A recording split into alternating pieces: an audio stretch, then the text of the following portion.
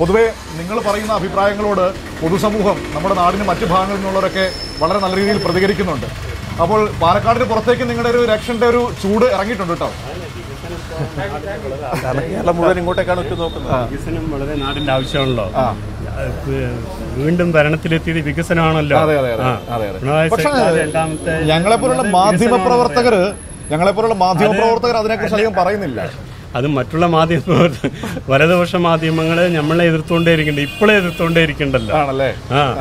അത് അതിന്റെ വഴിക്ക് നടന്നോളൂ അല്ലേ? അത് അത് വഴിക്ക് പോട്ടെ. അവർ സ്വർണക്കടത്തിന് എത്ര കാലം കൊണ്ട് നടന്നു? ഇലക്ഷൻ സമയത്ത്. അവസാനം എന്തായി? തന്നെ വീണ്ടും നല്ലൊരു ഭൂരിപക്ഷത്തോടു കൂടി വന്നില്ല അധികാരത്തിൽ വന്നില്ല. സത്യം പറഞ്ഞാലേ ഈ ഇപ്പോൾ നോക്കൂ എല്ലാ മാധ്യമങ്ങളും സർക്കാരിനെ എതിർക്കുന്നു സി പി ഐ എമ്മിനെ എതിർക്കുന്നു.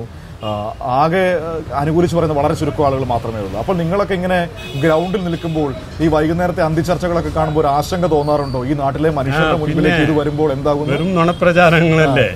ഞങ്ങൾ അതിനെ അതിനെ അല്ലയോ ഞങ്ങൾ ഫേസ്ബുക്കിലൂടെയൊക്കെ പ്രതികരിക്കേണ്ടി പറയാം. ഞങ്ങൾ അതിനെ തുറന്ന് പറയും. സമൂഹ മാധ്യമങ്ങളാണല്ലേ ഇപ്പോഴത്തെ ഒരു അതെ അതെ അതെ എന്ത് വന്നാലും പൊളിച്ചെടുക്കാൻ അതെ അതെ അതെ.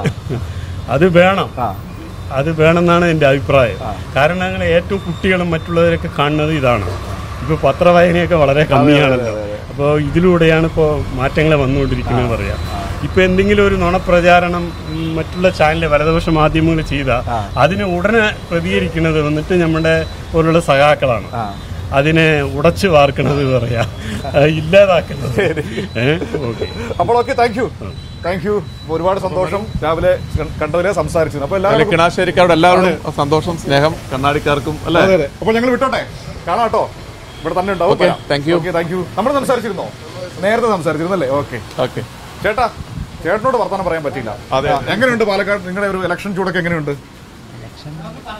അടിപൊളിയായിട്ട് പോകുന്നുണ്ടോ? അടിപൊളിയായിട്ട് പോകുന്നു. നല്ല കച്ചവടം ഉണ്ടോ ചായക്കടയിൽ നല്ല കട്ടൻ ചായ ആയിരുന്നു അതെ നല്ല ചായയാണ് കേട്ടോ. രാവിലെ ഇവിടെ വന്നപ്പോൾ അവർ മറ്റേ പത്തിരി കഴിക്കുന്നുണ്ട് നല്ലതെന്ന് പറഞ്ഞിരുന്നു. ഏഹ് അപ്പോൾ ഓക്കെ താങ്ക് യു